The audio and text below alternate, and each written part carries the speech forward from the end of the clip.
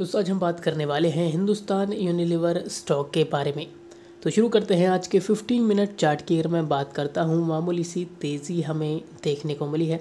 पच्चीस सौ पर ट्रेड करता हुआ स्टॉक अभी नज़र आ रहा है। वहीं वनडे चार्ट की अगर मैं बात करूँ, देखिए नीचे की तरफ़ गिरावट हमें काफ़ी समय से देखने को मिल रही थी। स्टॉक ने एक सपोर्ट भी लगाया था करीबन चौबीस सौ का। इस सपोर्ट का पूरा ध्यान रखें। देखिए, यहाँ से जिस प्रकार से वापस एक रिकवरी बन रही है, अगर यही तेज़ी कंटिन्यू रहती है तो आने वाले ट्रेडिंग सेशंस में जो टारगेट स्टॉक अचीव कर सकता है, वो है 2550 2560 तक के टारगेट भी जल्द ही स्टॉक बना सकता है। तो अगर आपके पोर्टफोलियो में हिंदुस्तान यूनिलीवर शामिल है कंटिन्यू होल्ड करें। दोस्तों, अभी फ्रेश बाइंग को थोड़ा अवॉइड करना है।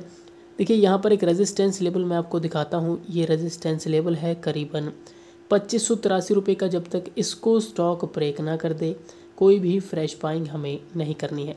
तो यही स्ट्रेटजी आपको अपनानी है हिंदुस्तान यूनिलीवर में। जैसे ही बाइंग का मौका बनता है, हम एक वीडियो ज़रूर बनाएँगे। तो यही बताने के लिए हमने वीडियो बनाई थी। धन्यवाद।